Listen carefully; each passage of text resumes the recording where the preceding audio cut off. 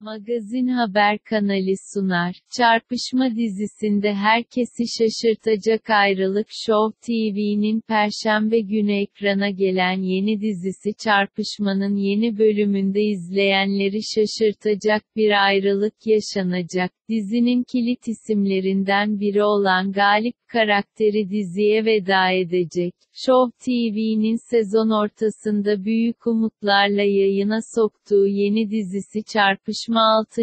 bölümü ile geçtiğimiz hafta ekrana geldi. Karşısında sıkı rakipleri olan dizi bir türlü reyting listelerinde beklenen başarıyı gösteremese de diziyi ilgiyle izleyen büyük bir kesim var. Senaryo gereği ölecek dizinin başrollerinde Kıvanç Tatlıtuğ, Elçin Sangu, Onur Saylak, Alperen Duymaz gibi genç ve başarılı oyuncular var. Fakat dizinin 7. bölümünde ekrana veda edecek bir oyuncu var. Yapımcı yeni bölümde kimin ayrılacağını resmen duyurdu. Dizinin geçtiğimiz hafta ekrana gelen 6. bölümünde İsmail Demirci'nin canlandırdığı Galip karakteri, Veli'nin zorlamasıyla Zeynep tarafından vurulmuştu. Galip'in ölüp ölmeyeceği merak konusu olmuştu. Karısı Zeynep tarafından vurulan Galip dizinin yeni bölümlerinde olmayacak.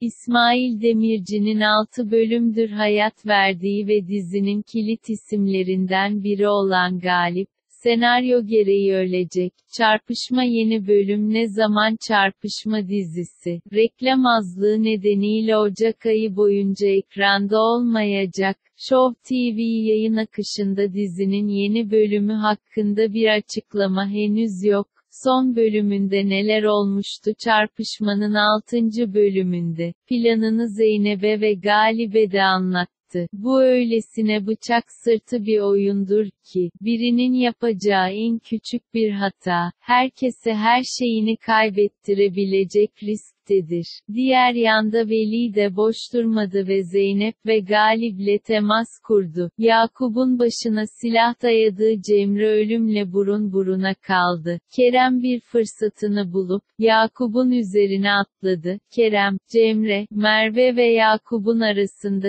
silah patladı ve ortalık kana bulandı. Zeynep, Galip'e çok öfkeliydi. Yıllardır içinde biriktirdiği nefreti onun yüzüne haykırırken, rağmen, geçmişle ilgili itiraflarda da bulundu. Adalı'nın istemeden kulak misafiri olduğu bu itiraflar, inceden yüreğini sızlattı ve artık hesaplaşma zamanı gelmişti. Adalı harekete geçti. Aynı anlarda, Adalı ile Veli'yi kardeşlikten, can düşmanlığına getiren geçmişin sır dolu perdeleri de bir bir aralanmaya başladı. Magazin Haber kanalı sundu. Lütfen kanalı Kanalımıza abone olmayı ve videoyu beğenmeyi unutmayın.